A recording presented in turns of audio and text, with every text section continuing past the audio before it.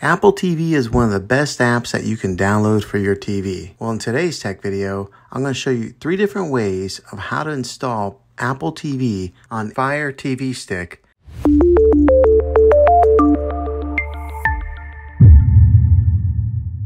It can be really frustrating if you want to watch some of the great content that is on Apple TV and you find that your TV is unable to download it. If your TV is an older model of smart TV, then it could prevent you from downloading this app.